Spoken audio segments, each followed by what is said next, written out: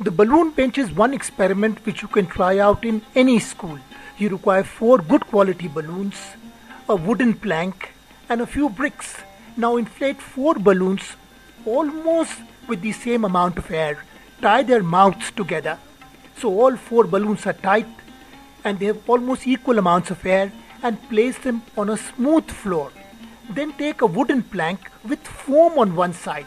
Place the foam side on the balloon so there is no sharp edge. Now we'll test the load bearing capacity of this bench by placing bricks on top. Each brick is roughly 2, kil 2 kilograms in weight.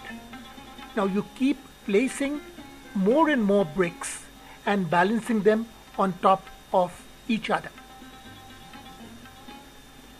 You can see at the moment there are 5 bricks so it's about 10 kilos and you can keep another block on top so it's almost 17 kilos.